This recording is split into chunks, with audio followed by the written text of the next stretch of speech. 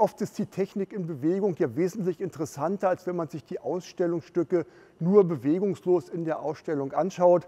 Die Vorführungen, die ich hier im Haus jetzt anbiete, die interessieren sich an den Besucher, der gar keine großen Fachkenntnisse mitbringt.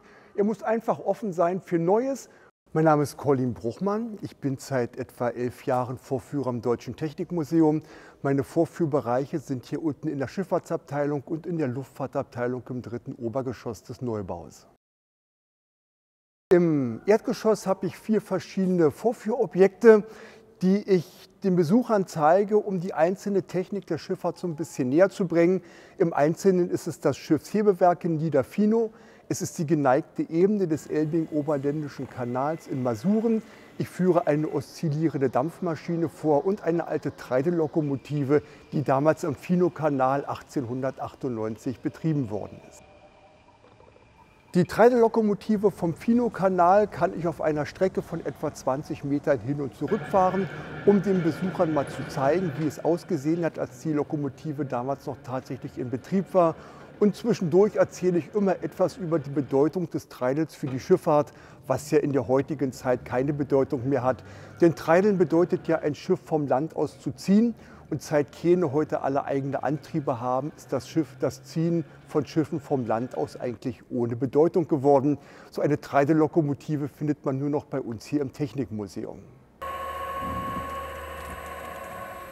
Die oszillierende Dampfmaschine, die ich hier vorführe, war früher bei einem Schaufelraddampfer am Ammersee eingebaut. Bei uns hier im Museum läuft die Dampfmaschine mit einem Elektroantrieb. Es leider, ist leider nicht möglich, die Dampfmaschine hier tatsächlich mit Dampf zu betreiben. Dann wäre der ganze Innenbereich hier sehr schnell mit Qualm erfüllt. Die Dampfmaschine ist aber tatsächlich noch so im Betrieb, wie sie damals auch lief. Man kann also die einzelnen Bewegungsabläufe sich gut anschauen.